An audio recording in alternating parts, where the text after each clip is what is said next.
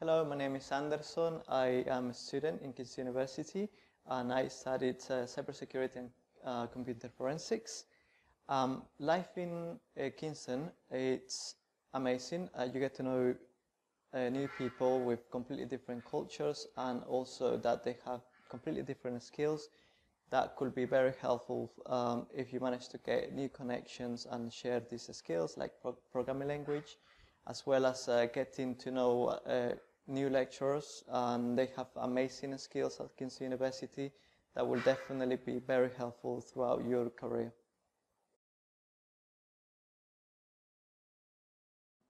I will suggest definitely get involved in uh, cybersecurity uh, society where you will have the opportunity to um, meet external organizations that will um, discuss about different cybersecurity topics, um, as well as um, uh, the Cybersecurity Society will uh, give you some challenges that you can um, take part of with different students in cybersecurity.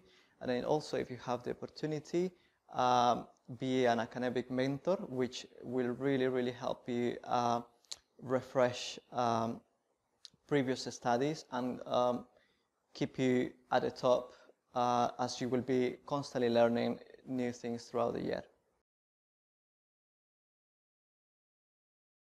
Uh, Kingston University uh, provides you with lots of uh, uh, practical facilities. One of the most important one is the Cyber Lab, where you will be um, involved in a lot of uh, cybersecurity tasks uh, you will have the most up-to-date equipment where you will be um, learning about virtual machines and also some scanning tools um, that you will uh, get to know throughout the year. Um, uh, also, you will be involved in a lot of uh, research and um, they will provide you with lots of quizzes where you will learn a lot from the topics that you will be learning.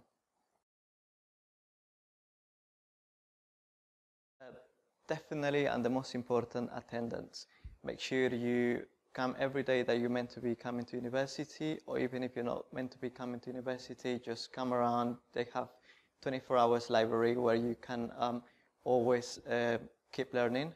Um, make sure you um, um make new connections. Uh, it's very important to network with uh, different students as well as um, with the uh, teaching team.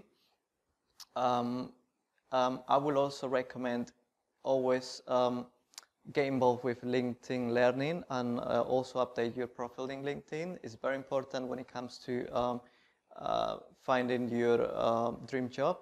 And if always if you have any problems uh, it, throughout your uh, course, make sure you contact the module leaders. They will be able to help you in anything